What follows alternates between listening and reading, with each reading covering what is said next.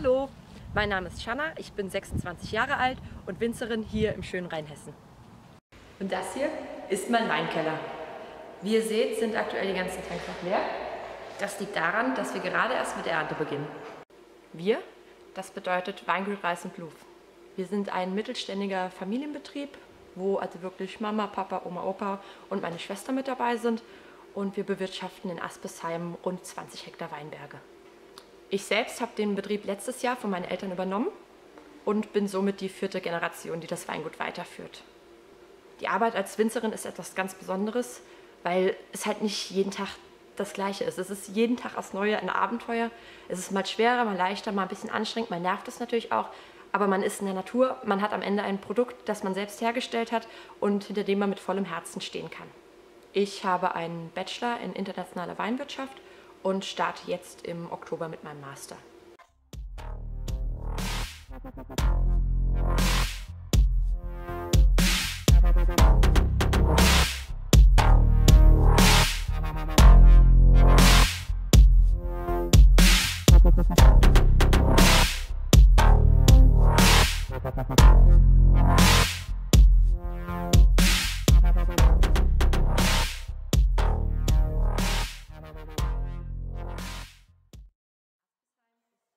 Bedingt ein klassisches Weindorf.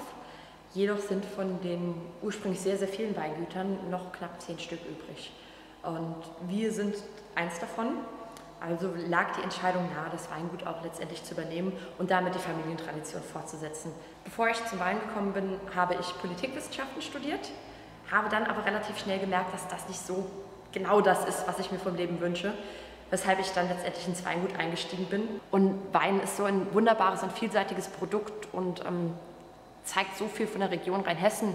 Im Moment ist es noch so, dass Weinbau und auch das Winzersein eher eine Männerdomäne ist, aber es kommen immer mehr Frauen dazu und es ist ganz schön, auch so eine besondere Rolle dann auszufüllen.